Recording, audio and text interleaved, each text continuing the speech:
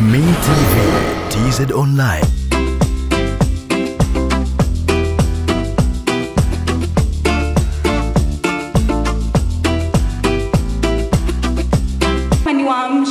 Mimi ni mwanamke naumia, si kama napenda ni mwanamke naumia, lakini natumia hii siku kuamsha wanawake wenzangu, sawa? Kwa maana hiyo naweza nikasema vipi, wanawake tunajidhalilisha kwa mpaka eji tuliokuwepo hapa sasa, na hakika kila mmoja ananijua mimi ni nani, anajielewa, anajua lipi baya, lipi nzuri. Kwa maana hiyo since inafika stage hili nalijua baya then na mimi baya nikafurahia kulifanya, huo ni udhalilishaji, unajidhalilisha mwenyewe first. Lakini pia tukiengelea katika pande pengine za mavazi, tabia, nini, kwa kawaida mtoto wa kike yoyote, siwezi nikasema 100% lakini leo tuseme it is 90%, mtu unazaliwa ndani ya nyumba kukuwa kuna wanawake na wanaume. Mtoto tangu anakuwa anakuwa mpaka tunafikia age tulikuwepo sasa, ikiwa mwanafunzi, ikiwa mzazi, ikiwa hapo dadangu yoyote, umekuwa katika maadili, mwanamke yumo ndani, yani na take it katika 90%. Mwanamke anakuona tabia yako anaiona iko vipi, ikiwa mamako, ikiwa dadako, why haku anajua kama unafanya vibaya, kwa nini hakuelekezi kulipokuwa ndivyo? Kwa maana wewe mwanamke mwenyewe, ikiwa mama, ikiwa dada, umeinfluence kile kitu, lakini vile vile kama point yangu nilisema mwanzo, unajijua mimi mwanamke nikifanya hivi wrong, lakini still unafanya, unajidhalilisha.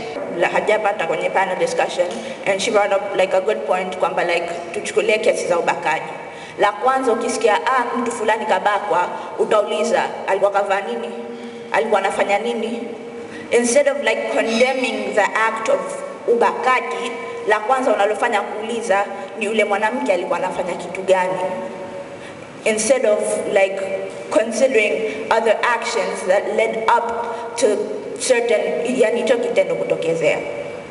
Kwa upande wangu kama mwanamke, of course nakataa 100% kwamba uzalilishaji wa wanawake unasababishwa na wanawake wenyewe, lakini naona kuna vitu ambavyo vinapelekea kama walivyovitaja wenzangu, tukiangalia kwenye culture, tukiangalia kwenye malezi upbringing ya, ya, ya, ya wanawake na wanaume inaweza ikasababisha, na pia tu, tukienda kwenye standard ambayo tumemwekea mwanamke na standard ambayo tumemwekea mwanamume, unaweza ukakuta kitu akikifanya mwanamume kwa sababu tumeweka low standard kwa mwanamume inaonekana ni kawaida. Hata kwa mfano tukiangalia kwenye mfano wa, wa cheating, kama mtu kutoka nje ya ndoa, instead of watu kuangalia kwamba hichi ni kitendo kibaya, kama kulikuwa kuna tatizo ndani ya ndoa yako, wewe kama mwanamume ungeenda ukaongea na mkeo, lakini kitu hicho hicho akikifanya mwanamke, tunaona kwamba wewe mwanamke, kwa nini umefanya hivyo? Kwa sababu tumeweka standard kubwa sana kwa wanawake, lakini standard kwa mwanamume imekuwa ndogo. Kwa hiyo tunaona katika jamii zetu bado mfumo dume umekuwa ni, ni kitu ambacho kinachopelekea kudhalilisha wanawake na sio wanawake wenyewe. Sidhani kama mtu atataka oh hi over there can you come and rape me so people wani sympathize nijisikie kwamba oh niko down. Hamna mtu atatoka adhalilishwe, na hata sidhani kama mavazi is one of the thing, kwa sababu ukiangalia sisi Wazanzibari tunajistiri hapa jamii takriban ndipo tunapofeli hapa na udhalilishaji ndipo unapotokea.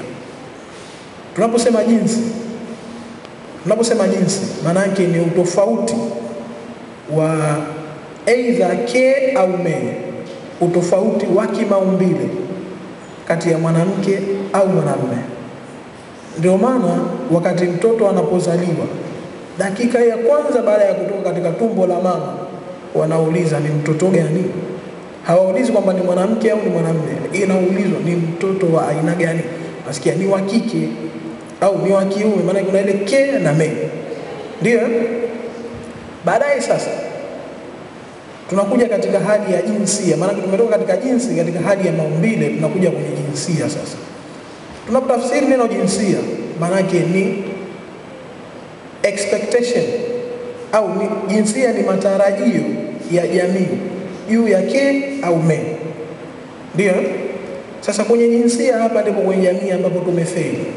Maana kwenye jinsia tumemchukulia ili yani matarajio ya mwanamke kwamba yeye atakuwa ni mpikaji, mtu wa, wa kujifanyia starehe au atakuwa ni mtu wa hali fulani fulani fulani, yani zile ambazo zile yale matarajio tuliyoyaweka. Mwanamume yeye matarajio kwenye jinsia tumemwekea kwamba yeye atakuwa ni, ni bosi, ni manager, yeye ni mtafutaji, nianzie kwenye jambo moja tu kwamba tamaduni, silika na desturi zetu ni kitu muhimu sana. Unajua, kuna jamii za watu kutembea kifua wazi wasichana, zipo hizo jamii, ingawa zinapotea kwa sasa.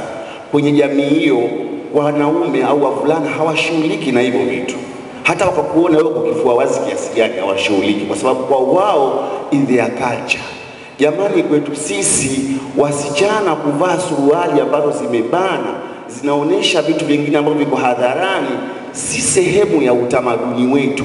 Kwa hiyo vijana wa kiume wanaha, wan, wanakuwa kwa kweli wanatapa roho sawa sawa na mtu mwenye njaa kuona plate za biriani zinapita.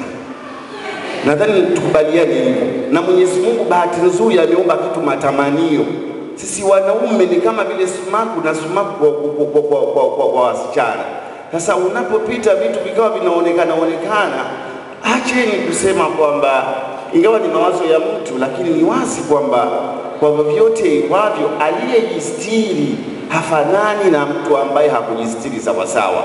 Unakaribisha kwa sababu tunahisia na tuna matamanio. Kwa hiyo naamini kwamba swala la mavazi lina mchango, na ukizingatia kwamba kwa jamii hii hatujayazoea haya ya kuona wasichana mnatembea na suruali ambazo zimebana kupita maelezo, au mmevaa mavazi ambayo ya kunusu uchi. Vijana wetu wa kiume, haya si katika ambayo wameyazoea, au kwa ujumla wetu hatujayazoea. Jina naitwa Ibtisamu Musa Manjano, ni memba katika Raia Health Organization, ambayo organization hii imejikita zaidi katika kutoa elimu ya afya katika jamii na kuwafanya watu waishi katika afya nchini. Pia mimi ni project coordinator wa mradi wa binti na afya.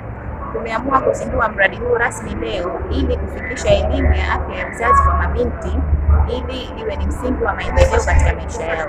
Kutokana na hili tumeamua kuzindua mradi huu ili kuwakinga zaidi watoto kuepukana na majanga au changamoto tofauti ambazo zinawakumba katika jamii yetu. Pia siku hii yetu adhimu ya leo tumezindua rasmi mradi ili kuendelea zaidi kutoa elimu mashuleni pamoja na vijijini, kuwafikia mabinti wote Unguja na Pemba. Kijana anatumia muda mrefu maskulini kuliko nyumbani, kwa hiyo walimu wake wana umuhimu wa kujua elimu ya afya ya uzazi ili waweze kumsaidia wakati. Ah, lakini kwa kutumia jamii nzima kumsaidia kupata elimu ya afya ya uzazi kijana ni kumsaidia, hasa kijana wa kike, ni kumsaidia kujiamini, ni kumsaidia kuweza kufanya maamuzi yaliyokuwa sahihi kuhusiana na afya yake, hususan afya ya. Eh, kama tunavyojua leo tarehe nane mwezi wa tatu elfu mbili na ishirini imefunguliwa rasmi mradi wa BITS na afya kupitia Raia Health Organization. Ni taasisi ya kijamii ambayo inajihusisha na kutoa elimu za afya. Kwa hiyo inshallah tunategemea mapokeo mazuri katika jamii, watu wadau mbalimbali waisapoti Raia Health Organization kupitia mradi wake wa BITS na afya. Please, tunawaomba sana kwa uwezo wa Allah subhanahu wa ta'ala, tuwasaidie mabinti wetu, tuisaidie jamii kwa kuipa elimu.